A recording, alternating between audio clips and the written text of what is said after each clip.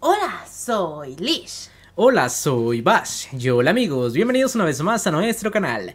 Y bueno, el día de hoy, como ya es costumbre en el canal, les tenemos los spoilers del capítulo 232 del manga de Jujutsu Kaisen. Así es, finalmente los spoilers han regresado y tenemos un capitulazo. Esto ya es costumbre, no sé ni para qué lo digo, o sea, cada capítulo es espectacular, pero honestamente este estuvo muy genial, debo decirlo. Dice cada que sale un nuevo capítulo, pero este estuvo este, más Este fue el mejor de todos, exacto. Ya que en este episodio finalmente Sukuna cae cao, pero obviamente Majoraga llega al rescate. Mm. La batalla Tengo se va a poner miedo. intensa, no sé qué es lo que va a ocurrir a partir de ahora, ya veremos qué es lo que sucede, pero bueno chicos, vamos a ver qué pasó en los spoilers, sin nada más por añadir, comencemos. Pues muy bien, directamente este capítulo comienza enfocándonos a la rueda de Majoraga, a la cual se nos menciona que ya solamente le faltan dos vueltas más para completar su adaptación.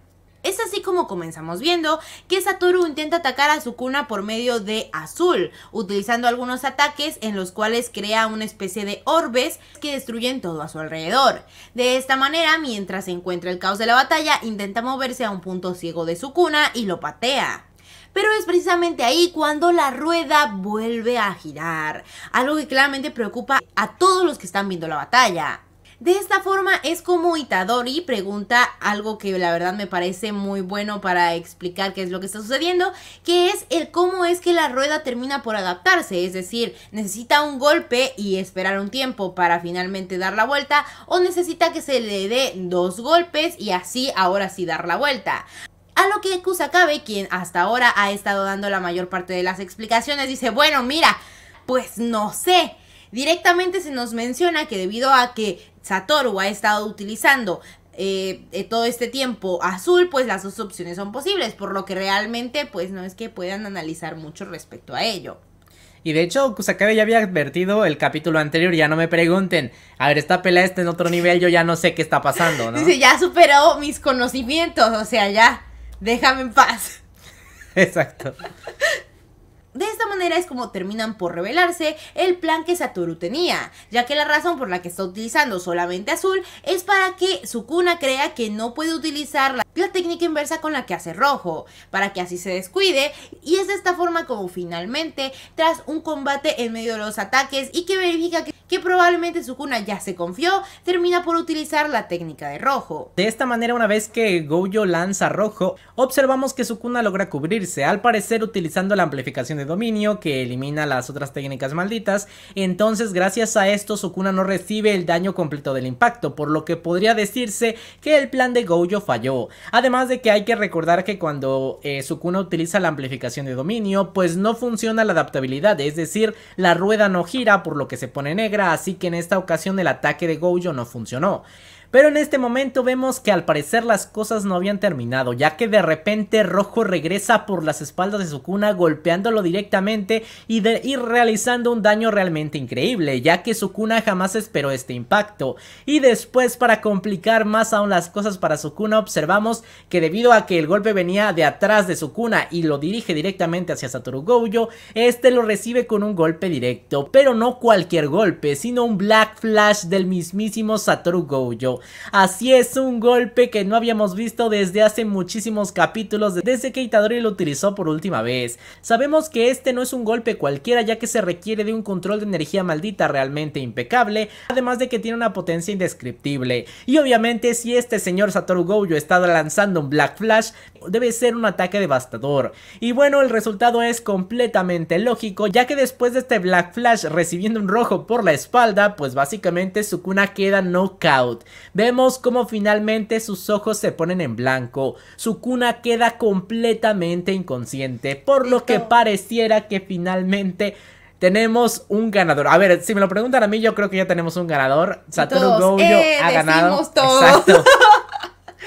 Pero lamentablemente en ese momento la rueda de Majoraga comienza a girar.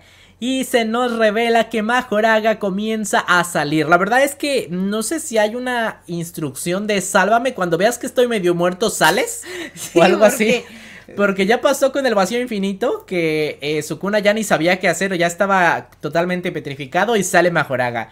Y ahorita que está inconsciente sale otra vez. No sé cómo funciona es un plan, ¿no? O sea, como que no sé qué hizo para que... Se lo tiene muy fríamente calculado. De cualquier manera, eh, obviamente con la cuarta vuelta que ha dado Majoraga, ahora sí la adaptación se ha completado y Majoraga es inmune al infinito y al dominio de Satoru. Así que en este punto Satoru prácticamente no puede hacer nada en contra de Majoraga. Y en ese momento vemos como Majoraga lanza un corte contra Satoru Gojo, pues causándole mucho daño y terminando de esta manera el capítulo. Con una situación realmente terrible, aunque Sukuna está inconsciente. Sukuna fue derrotado y no sabemos cómo esto pueda llegar a funcionar, ya que hay que recordar de quién es este cuerpo. Este es el cuerpo de Megumi y Sukuna fue noqueado.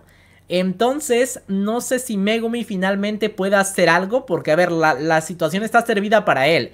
Hay que recordar que Majoraga sigue siendo parte de la técnica de 10 sombras que le pertenece a Megumi. Obviamente hay que entender que Megumi pues está en el caño, está en las sombras, recibió no sé cuántos vacíos infinitos, entonces tampoco es que Megumi ahorita se levanta y ya está bien pero tal vez pueda llegar a aportar algo. De hecho, esa podría ser eh, la esperanza de Satoru Gojo. Muchos decían que debido al vacío infinito, donde puede transmitir información al cerebro de alguien, pues pueda hacerlo, pero de una manera menos dañina y en este caso dar información a Megumi eh, que lo pueda hacer regresar. Esta sin duda alguna podría ser una posibilidad interesante que Satoru alcance el alma de Megumi para despertarlo, ya que eh, pues el caos de su cuna está confirmado. Ahora, hablando del problema más grande, que es Majoraga. En este momento creo que técnicamente Satoru Gojo es completamente inútil contra Majoraga porque ya se adaptó.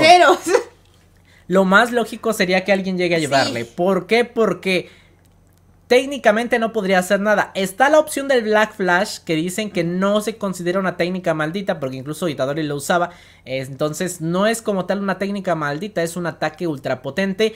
Pero también hay que recordar que no decides cuándo usarlo o al menos muy pocos hechiceros pueden decidir cuándo usarlo. O solo llega en el momento en el que el hechicero tiene un dominio colosal de energía maldita. Y bueno, también se dice que no, esto no elige a cualquier hechicero, sino que más bien a los que tienen, los que están bendecidos casi por la energía maldita. Entonces, no sabemos si Satoru Gojo, pero no lo podía hacer. Bueno, pero a lo mejor ahorita ya.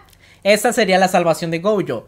Que tal vez domine el Black Flash después de hacerlo esta vez. Y empiece a pelear con Majoraga Black Flash. Se me haría cruel que no lleguen los demás. O sea, ya. Este es. ya, se ya cumplió. ya, ya, ya su ya no va a ser dominios.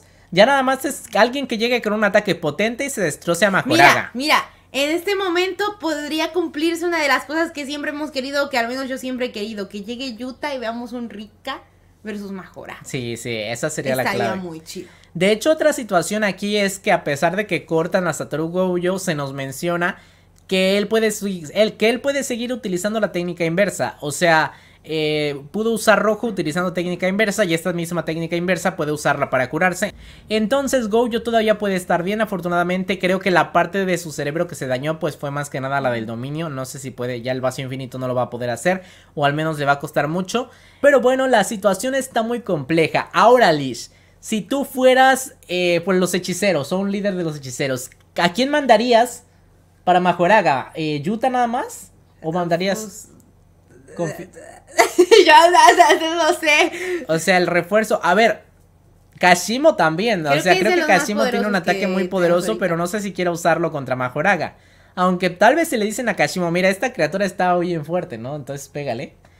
Eh, pero es que no porque se va a enojar. Él lo que quería era pelear contra su cuna directamente. Va a ir a pelear contra Satoru porque es el más fuerte, ¿no? De hecho, eh, probablemente vaya a decir, ahora tú y yo. Pues es que Itadori no sé qué tan efectivo podría ser. Obviamente él con los Black Flash a lo mejor y también podría. Ajá, este, más o menos. Hakari, es que Hakari le falta potencia, siento. Eh, se vuelve inmortal y todo, pero no tiene mucha fuerza porque Kashimo le aguantó el round y se pelearon en estilo normal y Hakari nunca demostró tener un ataque de ultrapotencia. Creo que en este caso Yuta sería mi apuesta. O sea, necesitas a, alguien que de un golpe pueda a lo mejor hacer algo. Ay, Maki también, Maki es counter. Claro. De, hecho, a ver a qué, a ver, adáptate a Maki, a, su a, su técnica maldita. Estaría muy bien, me Sí, gusta. la Maki idea. podría ser una opción bastante Mira, viable. mira, yo mando a los alumnos de Satoru. Pues Sí. ya, para que se Mira, vea bonito. El problema es que ya ahí me- se metería Kenyaku. O sea, también hay que recordar Ah, claro. que si ellos quieren entrar, Kenyaku va a entrar. Yaku va a decir, ay, no, no, no. Es, es casi como la lucha libre, ¿no? Como que están peleando, pero si entra un compañero, también entra el otro, ¿no? Ayudar a su Exacto, compa. Entonces, yo creo que Kenyaku está ahí para detener a los hechiceros. Sí. Y muy probablemente, pues, eh, Gojo tenga que arreglársela solo. Un, por un rato. De hecho, a lo menos. mejor ya co- como, dices, eh, tal vez que Yaku pueda pensar precisamente eso, que de las que menos tiene que dejar entrar ahí es a Maki, porque Maki es como Ajá. que la que podría desnivelar la situación. Pero a ver, para Maki también, detener a Maki es difícil. Sí, sí. Bueno, Uraume lo hizo ya una vez. De hecho, yo veo un Maki contra Uraume interesante porque ya se vio el versus y eh, a Maki le costó, o sea, Maki Sí. quedó humillada ahí. No humillada, pero, Pero la detuvieron muy fácil, o sea, se vio como nada. Entonces creo que Maki podría tener su revancha. Eh, pero vamos a ver cómo se desenvuelve todo esto. La verdad es que el capítulo estuvo genial. Sí. Me encantó la estrategia de Satoru Gojo, cómo lanzó el rojo. De hecho, no lo expliqué, pero lanza el rojo para que gire y así regrese por atrás. Está- de hecho, está increíble. muy cool, sí. me Eh, totalmente derrotado Sukuna. Ya saqué un video hablando de que Gojo masacraba a Sukuna. Y estos capítulos nada más me lo confirman. O sea, si Sukuna sigue en el juego es por Majoraga. Ya dije, respetando a Sukuna en toda regla. Porque Sukuna aguanta pelear a este nivel. O sea, no había nada más. na- no había nadie más. Y Sukuna logra resistir este nivel. Sukuna daría una increíble batalla contra Satoru, pero yo creo que él ganaría. Demostró una vez más que es mejor en combate. O sea, Sí. es que Satoru en combate físico dominó. Y, Claro. y bueno, es que además se puso la, la vestimenta de la muerte, que es la de Toji, ¿no? Exacto, o sea, él dijo, ¿con qué vestimenta me siento así súper gota? Y con eso- A ver si no le toca la maldición de Toji, ¿no? Como que casi lo matas, pero te regresan y te matan, ¿no? No me recuerdes eso. Pero bueno chicos, ahora sí de esta manera terminamos los spoilers. Me gustaría que me dejen sus opiniones en los comentarios. ¿Qué creen que pase? ¿Alguien va a ayudar a Satoru? ¿Satoru se va a rifar solo? ¿Kenyaku va a entrar? Creo que ya terminamos prácticamente el combate. Si acaso uno, uno o dos más eh, episodios y ya pasamos a lo que Pero sigue. o sea, yo siento que ya se van a meter los otros hechiceros. Sí, ya tendrían que entrar. Yo también. demás. El problema es que los veo muy calmados así. Bueno, los veo muy sentaditos ahí en su base. Sí. Y es como en serio nadie está esperando. O sea, ¿a cuántos kilómetros te encuentras del campo Claro, de batalla, porque no? de hecho, o sea, sale Majoraga y lo que se ve es que no sé, creo que Yuta y otros gritan ¡Satoru! O sea, pues vete. O sea, Mira, yo lo entendía cuando estaban con los dominios. Porque Claro. si alguien se mete, dices, o sea, vas a entrar a morir, güey, Sí, ¿no? Sí. O sea, es inútil. Pero ahorita que ya es más una batalla física, que tienes a Majoraga, cuando Rika sí puede ser efectiva, cuando otros pueden ser efectivos, eh, entonces, no sé. A menos que también nos estamos olvidando de la gente comediante. ¿Quién sabe dónde Ah, chingados que anda está? perdido, sí es cierto. Él también podría ahí Puede entrar. ser, sí. ahora que lo recuerdo. Es que se me olvida. Es que, es, que la verdad, pasó un mes y si este tipo entrenó con Gojo y dominó su técnica, cuidado. Sí. Cuidado que ahorita se agarra con Kenyaku solo, ¿no? este Tal tipo cual. modificó la realidad, rompió la cuarta pared. Sí, Hulk, no, no importa contra él.